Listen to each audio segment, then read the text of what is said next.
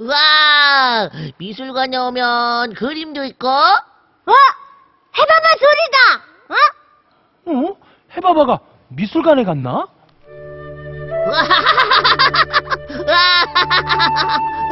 어? 선생님, 이 그림 진짜 웃겨요. 해봐봐. 미술관에서 큰 소리로 떠들면 안 돼요. 네. 와, 재밌다. 어?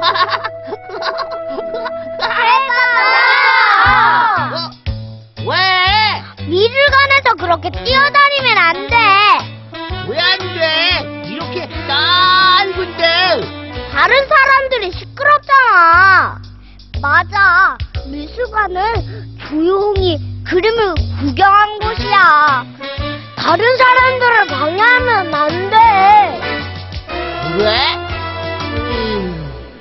그래 봐봐. 미술관이나 박물관에서처럼 사람들이 많은 곳에서는 조용히 하는 게 예절이야. 맞아. 지하철이나 버스에서도 마찬가지야. 어, 나는 막 뛰어다니면서 놀고 싶은데. 안 돼! 지금부터 예절 바른 행동을 하는 습관을 들여야 나중에도 예절 바른 사람이 될 수 있어. 세 살 버릇 여든까지 간다는 말도 있잖아. 세 살 버른 여든까지 간다. 그게 무슨 말이에요? 어릴 적부터 잘못된 습관을 들이면 여든 살 할아버지가 되어서도 잘못된 행동을 계속 한다는 뜻이야. 그러니까 어릴 적부터 좋은 습관을 들여야 한다는 거죠? 그렇지. 그럼 다 같이 따라해볼까? 세 살 버릇 여든까지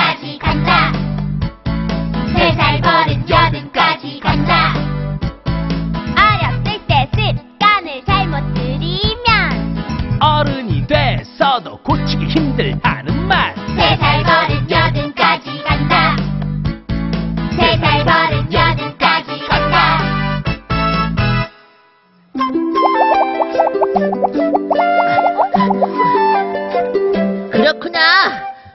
해봐봐도 이제부터 예절 바른 행동을 할 거야. 그래야지. 저 근데요 박물관이나 지하철 말고 또 어디에서 예절을 지켜야 해요? 음, 음. 여러 사람이 같이 이용하는 장소에서는 예절을 지켜야지. 예를 들어 어, 유치원에서도 예절 바른 친구들이 모여있는 파니파니 유치원에 오신 걸 환영합니다!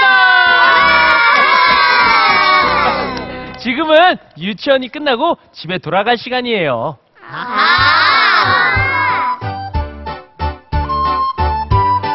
우와, 피에로 아저씨다. 우와. 유치원 밖에서 피에로 아저씨가 풍선을 나눠주시나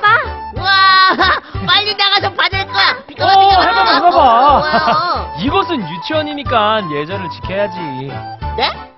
제가 지금 예절을 안 지켰나요?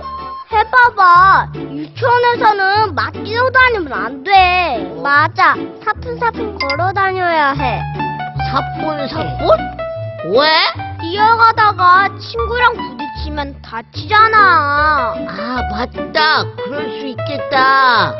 그리고 뛰어다니면 발소리가 엄청 시끄러워서 다른 친구들한테 방해가 돼. 맞아. 유치원에서 사뿐사뿐 걸어 다니는 것도 중요한 예절이야. 우리 이 발자국들을 따라서 사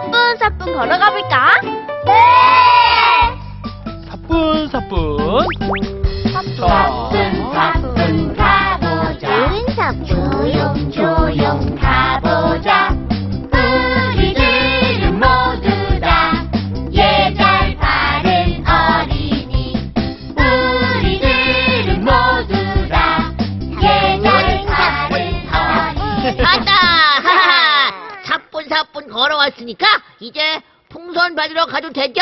가자. 어, 저- 음, 해봐봐. 아무리 풍선이 좋아도 선생님한테는 인사하고 가야지. 네? 인사요? 그래.